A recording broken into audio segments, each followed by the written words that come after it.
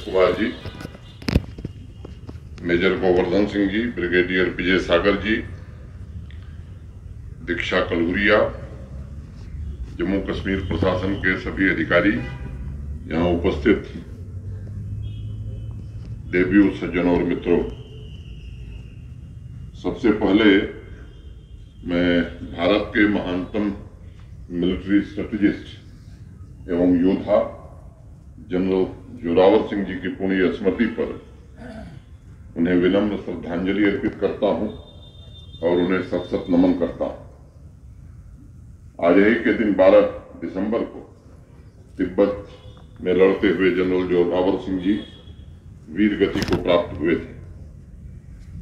मुझे लगता है कि देश उन्हें अखंड भारत के उस महान योद्धा के रूप में देखता है जो अनेक पीढ़ियों के लिए अपनी वीरता मिलिट्री स्ट्रेटेजी एवं थिंकिंग से प्रेरणा नई ऊर्जा प्रदान कर रहे हैं। मैं ट्रस्ट के सभी पदाधिकारियों के प्रति भी कृतज्ञता ज्ञापित करता हूँ, जो भारतवर्ष के आत्मविश्वास तथा स्वाभिमान के प्रति जनरल जोरावर सिंह जी की स्मृति और उनके जीवन कर्तव्यों को जनमानस में पहुँचाने का कार्य कर रहा है। मित्रों मैं जिस विश्वविद्यालय में पढ़ा हूँ, काशी हिंदू विश्वविद्यालय, पहली बार वहीं मैंने इनका नाम सुना था। और हिंदू विश्वविद्यालय से जो संबंध है वो मैं आपको बताता हूँ। वहाँ एक बड़ा पुराना म्यूज़ियम है, भारत कला भवन। जनरल जोरावर सिंह जी की पेंटिंग का एक स्क्रोल, जिसमें 11 पेंटिंग प्लेट्स हैं, वहाँ भारत कला भवन में रखा गया है। और वहाँ के संग्रहालय के लोगों का कहना है कि शायद यह एकमात्र सुरक्षित स्क्रोल है, जो जनरल जोरावर सिंह जी के सैन्य अभियानों पर प्रकाश डालता है। अपनी अदम्य इच्छा शक्ति वीरता, कर्मठता एवं कुशल सैन्य संगठन की शक्ति के बल पर बड़ी बड़ी ताकतवर सेनाओं एवं अत्यंत विपरीत परिस्थितियों पर उन्होंने जिस प्रकार से विजय प्राप्त की, उसकी कुछ झलकियाँ उस पेंटिंग में दिखती हैं। जनरल जोरावर सिंह जी का जीवन मुझे लगता है कि सशक्त भारत के सपनों का एक प्रतीक है।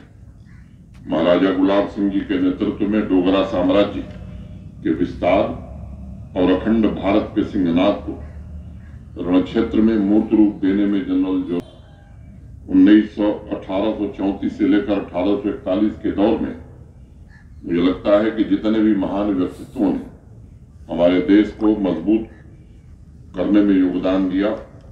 उसमें जनरल जोरावर सिंह जी का नाम सर्वोच्च प्राथमिकता में लिया जाए। इस दौरान लद्दाख, बाल्टिस्तान के अनेक सैन्य अभियान, उनकी उत्तम सूझबूझ और दृढ़ इच्छा शक्ति के प्रमाण के रूप में हमें दिखाई पड़ते हैं। मैं उन्हें शौर्य, अनुशासन और कर्तव्य परायणता का प्रतिबिंब मानता हूँ। जिन्होंने दुनिया के सामने प्रमाणित किया कि वीरों के लिए कुछ भी असंभव नहीं होता। है और माँ भारती की श्रद्धा में अनंत संभावनाएँ भी नीत हैं।